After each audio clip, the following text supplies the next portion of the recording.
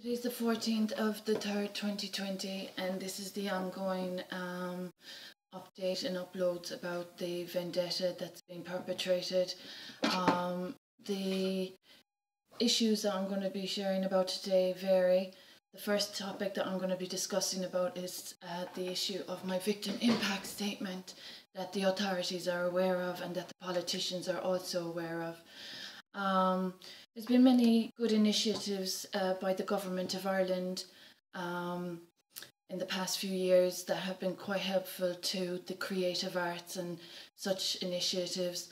And there's other great initiatives for uh, women's rights like he for she and all of that, you know, gender equality, etc. Um, that's um, part of the issue that I want to discuss in these uploads basically as a victim of individuals that the authorities and politicians are fully aware of and that have been aware of the stalking and violations, offences, and um, impost- imposter um, syndrome that these people are suffering from. Um, the issue of, of, identity theft is pretty serious, and um, as I've mentioned, um, this individual living on her own as a deserted wife of a property owner and that has been experiencing nearly over 20 offences, even more offences that the Ombudsman have been made aware of um, without the advocacy or support or services that I'm entitled to. Um, now, as I've mentioned, there's been technological um, violations as well. I work off a simple little modem and a simple little phone and the iPad that I'm uploading to. So um, basically, these individuals are so creative that they have fabricated an entirely um, deceptive um, version of uh, what has been occurring, and they have uh, perpetrated identity theft and financial theft. The very serious aspect of all of this is that authorities are aware of all of this situation. I have been um, scapegoated into a situation from my marital marital home, my family home, and now uh, public accommodation.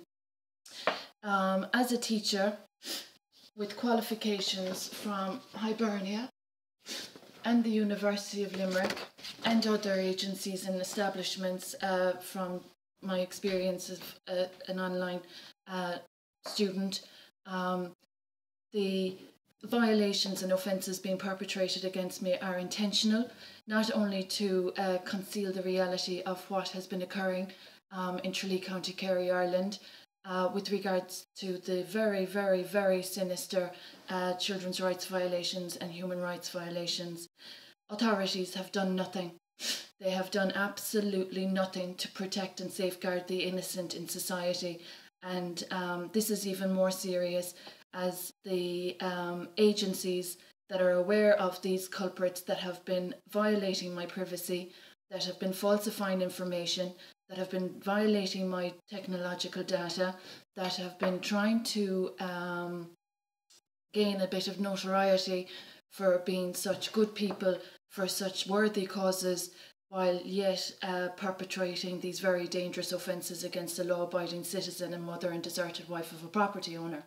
So, this is what's happening, and um, this is very serious for the authorities to be ignoring, especially with regards to the spiritual violations that have been perpetrated against the Royal Angelic. And as well as the positive, the positive, very positive contributions that I've been making to society as a victim and survivor of other people's um, issues. So um, basically, the society community that um, I'm born and bred from um, is after going through a little bit of a transformation in an attempt to um, conceal the um, truth of the sordid behaviour of these guilty culprits. The aspect of spirituality is something though that can't be concealed. Um, the exploitation of my spiritual gifts has been for um, the agencies and individuals that are basically undermining and isolating and ostracizing an individual that they have stolen and damaged, stolen from and damaged. Um, as I've shown, there's my qualifications from Hibernia and the University of Limerick. Um, I receive 200 euro per week. Um, these people have financially exploited a situation and prospered from that situation um, with the falsification of facts. They have damaged a light body, and the um, very sinister aspect of all of this is that they have also continued in their offences.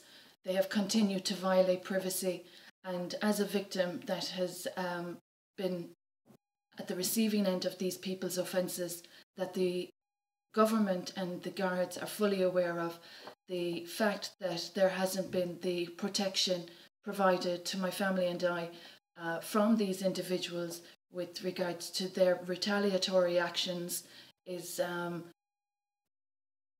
just a, it's a sad sign of the times to say the least. Um, so basically, the victim impact statement I sent in to the relevant uh, authorities have ignored the issues. They have facilitated the individuals that have perpetrated identity theft, financial theft, property theft, and spiritual theft. So, um, as I showed in a short upload there of about four minutes, um, that will just show you the extent of the spiritual gifts that were stolen and damaged from me as a light worker. Um, the main issue is that these people have not only imposed and violated my privacy, they've literally harassed me from my marital home, my family home, and um, they are continuing in their stalking efforts to cause more retaliatory efforts to denigrate and undermine an individual that they owe a very huge, substantial amount of compensation to. Um, the lies and falsehoods in all of this are absolutely horrendous and that the government of Ireland is facilitating this, even from a, an ethical and moral perspective, but from a spiritual perspective, that these people have um, gained so much insight from um, and so much, uh, you know, what would we say, abundance from uh, due to the damage they did to me is um, absolutely horrendous. So these people that have been stalking harassing and violating um, are obviously being safeguarded by authorities, while a person here experiencing financial abuse and defamation, etc., is um, basically, you know, it's like a free for all. So it's scandalous. And as a qualified teacher who's uh, been experiencing medical incompetence, um, this is another very serious aspect. So um, these issues of financial abuse have involved uh, the falsification and false information with regards to my personal affairs. These people have had no shame about what they have been doing. They have no concept or any um, understanding of the seriousness of what they've uh, perpetrated, and they are still causing more offences. So, as a whistleblower, this is what's happening in Tralee County, Kerry, Ireland over 20 offences perpetrated against me since I gave birth and got married. And um, the authorities and the politicians have done absolutely nothing. Um, for tr- social uh, trendsetters and social influencers to be facilitated in a vendetta that involves uh, spiritual identity, spiritual gifts, and such uh, that have been absolutely phenomenal. Um, the government have perpetrated the worst um, offence by ignoring um, my victim impact statement and my complaints to the Ombudsman. So um, that's as much as I'll say in this upload. Basically, uh, as a victim of these individuals that have violated so severely and that are perpetrating further offences, um, the authorities and the government um, are fully aware and have facilitated this in Tralee County, Kerry, Ireland. And as an initiative of Ireland, um, it's a very sad sign of the times.